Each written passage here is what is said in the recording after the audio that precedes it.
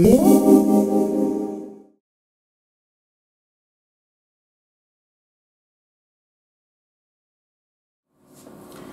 I'm Sanjib Majumder. I'm a plastic surgery consultant from Yorkshire.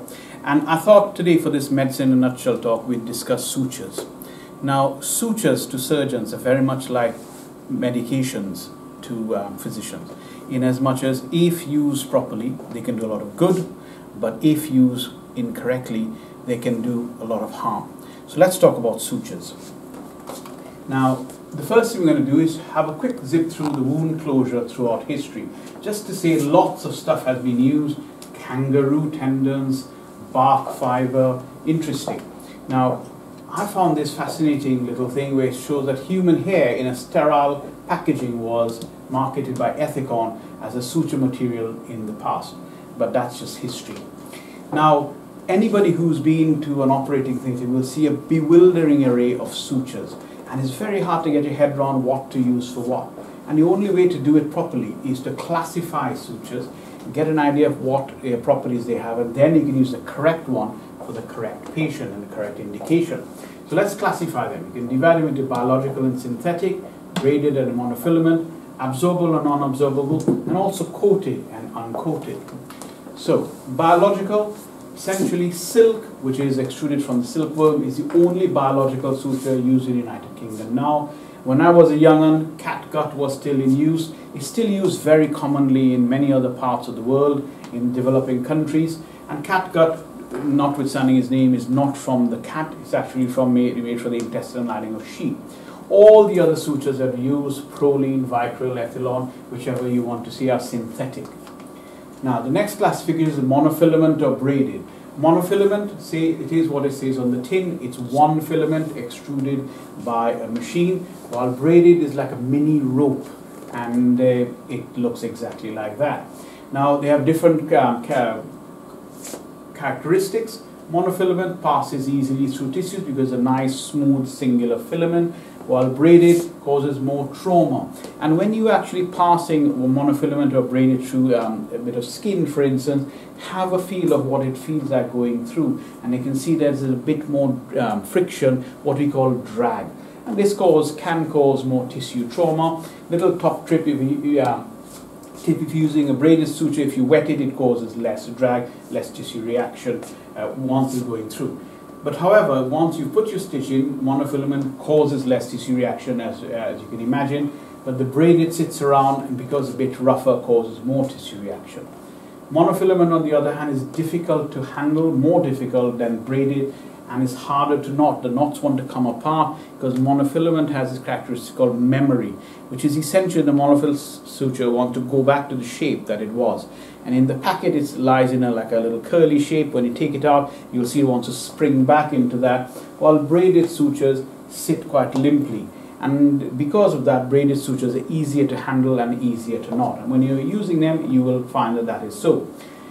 Monofilament, because it's got a nice smooth surface, are less likely to harbor microorganisms, while braided, because it's got nooks and crannies within it, uh, microorganisms can hide um, and much more likely to harbor microorganisms. If you've got an infected wound where there's braided suture, much harder to get rid of it because the antibiotics find it difficult to get inside those nooks and crannies.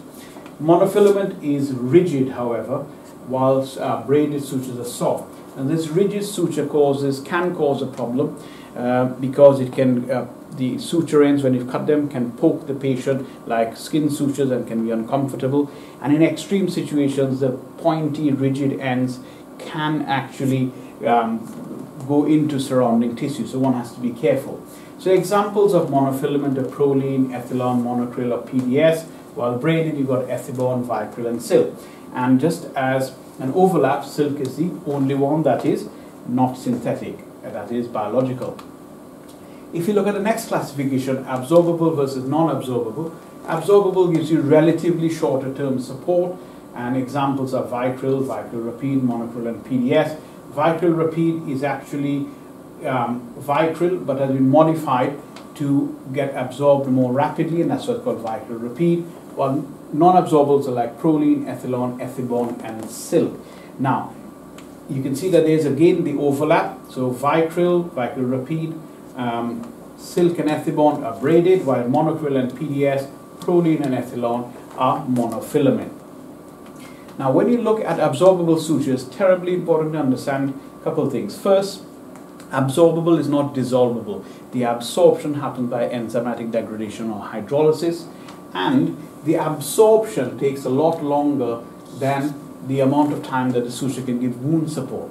The important difference is, let's take vicryl Rapide for instance, as an example.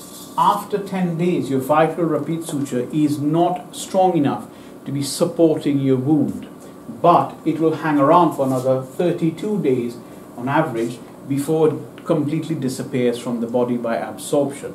So you've got another 32 days where you've got this foreign body sticking around like an unwanted guest after a party and then these foreign bodies can cause in tissue reaction, inflammatory reaction, and such like. So one has to be very um, careful and knowing if you're going to use it, one when when you should use it. PDS, look at 60 days it gives you wound support, so really good. I mean, most cases would have healed by 60 days, but it'll last for another 180 to 210 days. So important things to remember. So you've now gone through the classification of sutures. Let's go on to the sizing.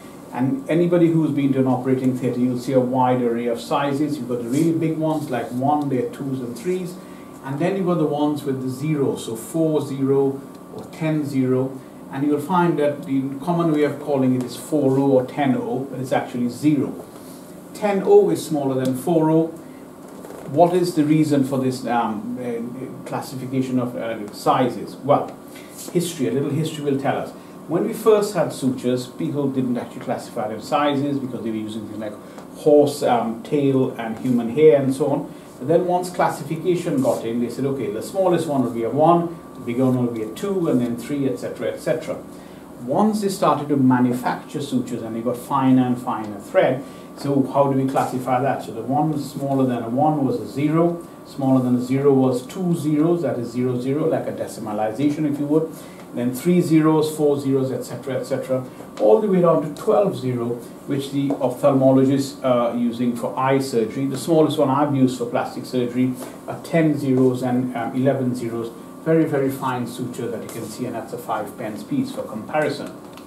So what size of suture do you use for skin? And this is a general guide face 50 and 60, arms 40 and 50, and legs and torso 30 and 40. There will be some degree of um, surgeon's preference, obviously.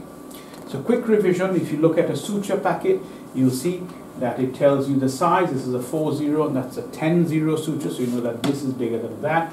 It also tells you what material it is. This is Prolene and this is Ethilon.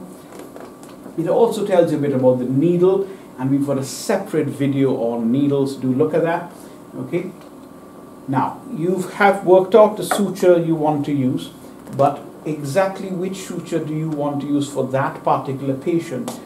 How do you work that out? Well use the five W's. It'll give you a clue okay? First thing what am I suturing? Are you suturing skin? Are you suturing tendon? Are you suturing bowel? Okay? How long strength is required for. Do you want to use something that is absorbable? Do you want to use a non-absorbable? And that will give you a clue as to which one you want to go for what is the optimal suture size. You know, don't be using really huge sutures because they're easy to stitch because you might be causing damage to the tissues. Don't be using really tiny sutures all the time because you think, oh, I'm a plastic surgery trainee, so I should use the smallest thing available because you can cheese wire. So you've got to have work out an optimal size. General rule, use the smallest one that will do wound support, but you don't want cheese wiring either. When should the sutures be removed? If you're using a non-absorbable, you got to give someone a guide as to when they have to be removed. And the normal things are either 5 to 7 days or 10 to 14 days. We use 5 to 7 days for highly vascular areas like the face and the scalp because the wounds heal faster. Rest of the body really 10 to 14 days.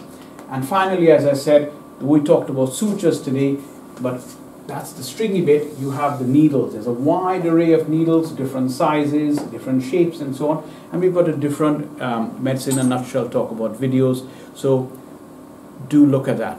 Thank you very much.